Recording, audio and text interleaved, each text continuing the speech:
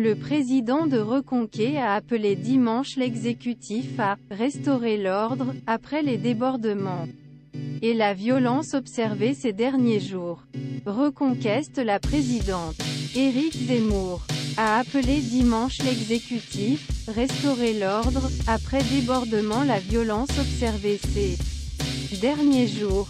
Nistiling, nervi antidémocratique, qui, dans les manifestations, commence tout pourrir, briser, attaquer Flisset pour risquer de tuer.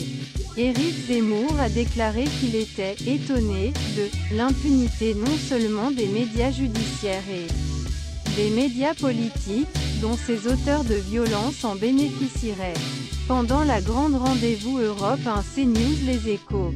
Entend-elle Éric Zemmour pense que vous devez donner des instructions de fermeté, et la justice. Je sais que depuis 1986, tout le pouvoir a été paralysé par le syndrome Malik Ousekine. Nommé d'après cet étudiant français de 22 ans. ET d'origine algérienne. Tué à Paris par des policiers en marge d'un projet contre une réforme projection. C'est ce qui hante tous nos dirigeants. Le président n'a pas d'autre solution que de tenir. Selon le ministère de l'Intérieur.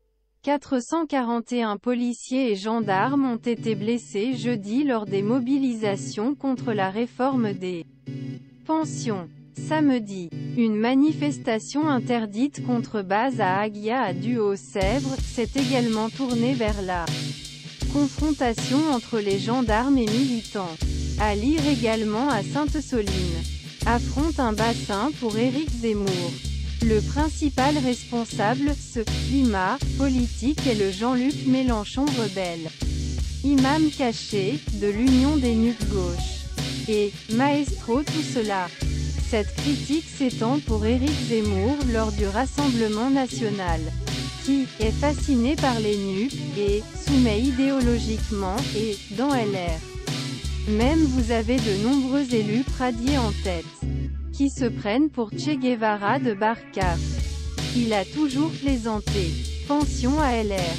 Aurélien Pradier survient en tant que promoteur du dialogue social et irrite son camp interrogé sur l'attitude qu'Emmanuel Macron devrait adopter face à la protestation de la réforme des pensions. Éric Zemmour a jugé que le président n'avait aucune autre solution que de tenir s'il fait de nouvelles élections. S'il se dissout, il reviendra avec une majorité moins forte, il a dit.